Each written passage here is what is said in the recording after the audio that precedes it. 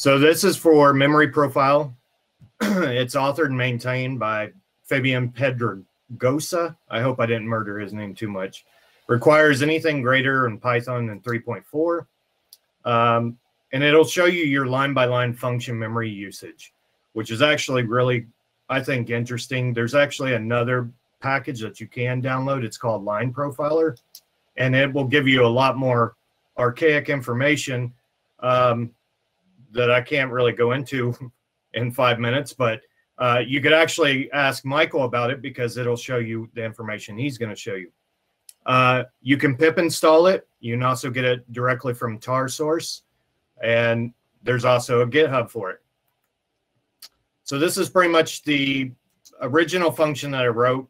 I had actually talked to James, and I was going to redo it to try to show you guys a little more, but uh, I got kind of bogged down with my internship. So I pulled in the the cache just so that this wouldn't bog down. And as you can see, you can decorate it with app profile. So then you can run it from the command line. And then, but you can also import memory profile and run it directly from the script as well. So this is what you would get if you run it in your terminal. Um, of course, you just run as module memory profiler and then the name of your package.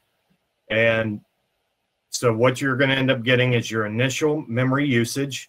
Then it'll show you what it incremented from, and then your occurrences that it's counting on.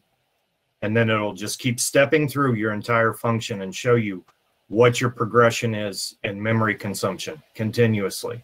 So the longer you get, of course, the better you can get. Uh, more details. One of the other nice features, if you have matplotlib and installed as well, is you can run mprof and run the name of your file. So once you run the name of your file, you can actually plot your file and it'll give you your line graph and it'll actually show you in seconds for each Fibonacci, for in this case, Fibonacci sequence that you're running. One of the the added features of this as well is there's other things that you can run um, within Memory Profiler, and if you go to the PYPI page for it, you can actually see uh, even more of the nice little features that they've got going for you.